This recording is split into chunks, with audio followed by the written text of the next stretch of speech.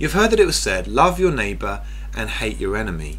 But I tell you, love your enemies and pray for those who persecute you, that you may be sons and daughters of your Father in heaven.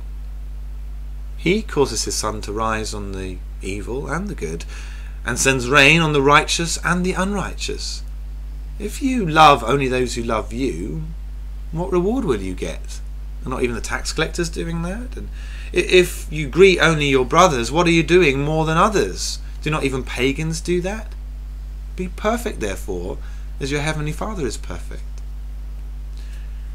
This teaching from Matthew 5 verse 43 following is an incredibly challenging one, isn't it? Because it, it's so countercultural, so counterintuitive. It runs against the grain of our basic human instincts that if someone does you something wrong, then you repay them that. You get your own back.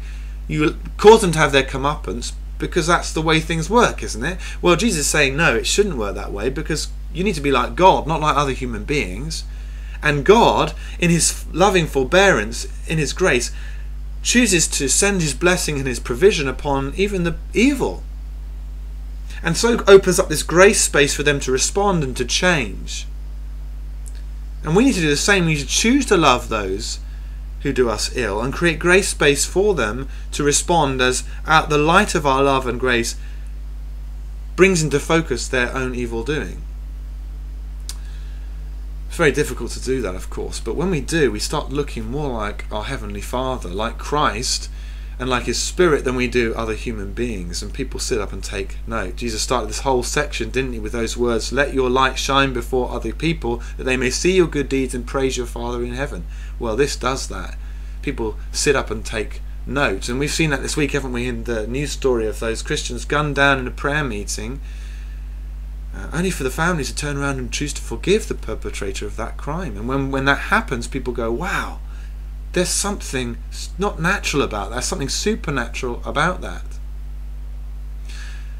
And as we choose to do that, we also change our attitude towards those people, aren't we? As we pray for those who persecute us, as we systematically do that, we find that our attitude towards them changes and grace um, dissolves and, and renews us and opens us up to new ways of being like our Father in heaven.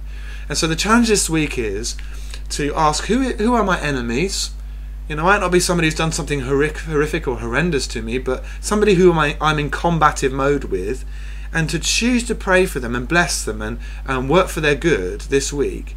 And as we do so, to look for a change within ourselves of attitude towards them, and maybe to see a change in their attitude towards us as well.